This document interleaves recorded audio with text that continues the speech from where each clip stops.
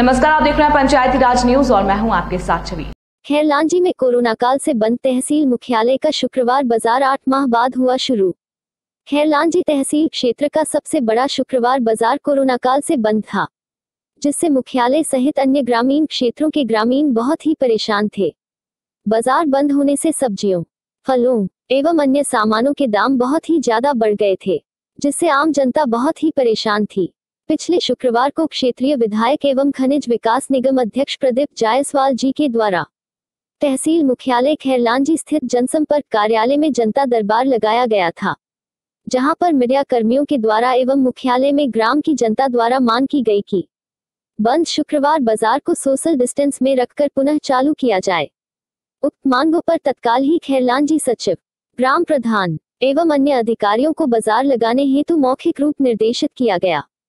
6 नवंबर को प्रदीप जायसवाल जी द्वारा जनसंपर्क कार्यालय में जनता दरबार लगाकर जनता की समस्याओं का तत्काल निराकरण किया गया एवं शुक्रवार बाज़ार में पहुंचकर बाज़ार का भ्रमण किया गया तथा अवंती बाई कॉलेज का औचक निरीक्षण किया गया एवं बाज़ार में आए व्यापारियों से एवं आम जनता से मुलाकात की गई। 6 नवंबर को लगे जनता दरबार में प्रमुख रूप से जनपद पंचायत सीईओ श्रीमती श्रुति चौधरी, खैरलांजी थाना प्रभारी रामबाबू चौधरी तहसीलदार उमराव सिंह वोले बिजली विभाग जेई करपेजी, बीएमओ डॉक्टर खिलेंद्र पाल, पूर्व जनपद अध्यक्ष फैकन लाल डोहरे उपस्थित रहे। पंचायती राज न्यूज़, खैरलांजी से किशन बहेटवार की रिपोर्ट। गुड्डा भैया की बहुत अच्छी पहल है और अभी तक के जो आठ महीने से बाज़ार नहीं भर रहा था, जिसकी वजह से आम पब्लिक को बहुत ज़्यादा परेशानी हो रही थी। और कोरोना का प्रकोप होने की वजह से किसी का दोष नहीं है, लेकिन उनमें अभी जो कोरोना धीरे धीरे कम होते जा रहा है इसकी कम होने की वजह से अब मार्केट जो है वो लग रहा है। इसीलिए बहुत अच्छी पहल है, गुड्डा भैया की।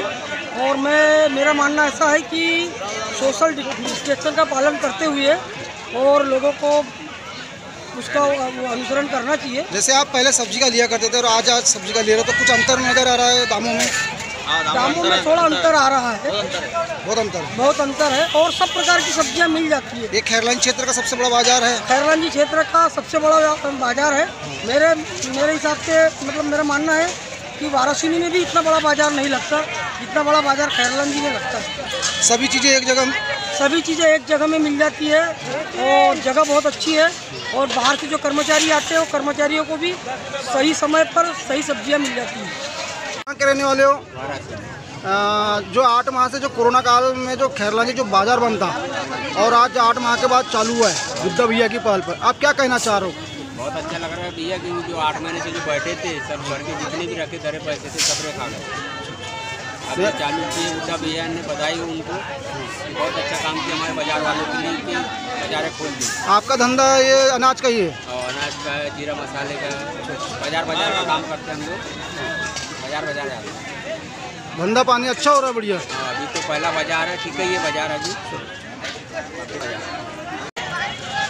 आज के ये कोरोना के चलते जो बाज़ार लगा है बहुत अच्छी बात है गुड्डा भाई के पहल से। इसके पहले जो अभी मार्केटों में नहीं लगने के कारण गाँव देहातों में सब्ज़ी का दाम बहुत अच्छे दाम में बढ़ गया था। इस वजह से आज के जो जो गुड्डा भैया के पहले पिछले सप्ते जो आए थे खैरलान जी। इस वजह से आज मार्केट खुला है बहुत बढ़िया कितने माह के बाद लग रहा है? आज करीब छः सात माह मिलेंगे आठ माह के बाद लग रहा है? यानी दाम के बारे में क्या बोलोगे? जैसे अभी आप बहुत गिरावट हो गई है मार्केट लगने के बाद।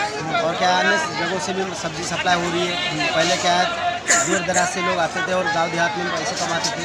गरीब वर्ग बहुत पीछे जा रहे थे गरीब की। पर आज की डेट में बहुत अच्छा मार्केट लग रहा है। प्रतिदिन बढ़ते रहेगा मार्केट बहुत अच्छा लगेगा। सबसे बड़ा मार्केट खरलाजी मार्केट है।